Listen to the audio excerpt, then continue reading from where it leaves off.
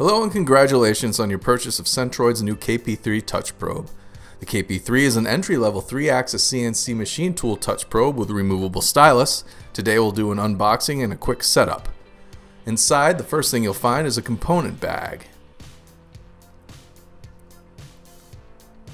There's a smaller bag which contains a stylus and a stylus tightening tool. Also, the probe cable. One end is wire ready, the other end has a 3.5mm plug to connect to the probe body. Be sure to download and print out the KP3 to Acorn hookup schematic found on the KP3 page at centroidcnc.com within the Acorn schematic zip file download. Now onto the probe itself. The KP3 is less expensive yet ultra accurate. You can't beat the KP3's dollar to performance ratio when it comes to precision and repeatability.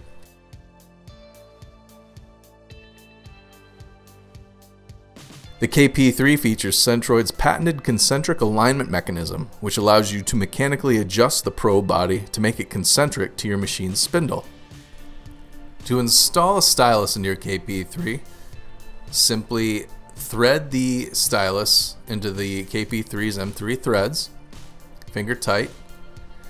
Then using the stylus tightening tool, snug it, don't over tighten it.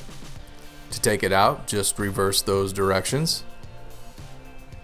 back the stylus out of the KP3 and always store it in its protective tube when not in use.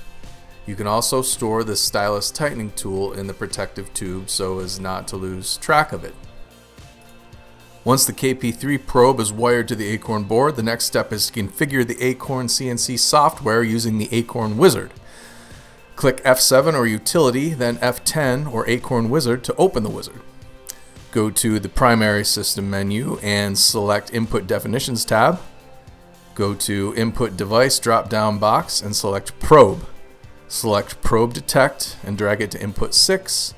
Select Probe Tripped and drag it to Input 7. This matches the KP3 to Acorn hookup schematic. Next, go to Touch Devices menu and select the Probe tab. Go to the probe type drop down and select KP3.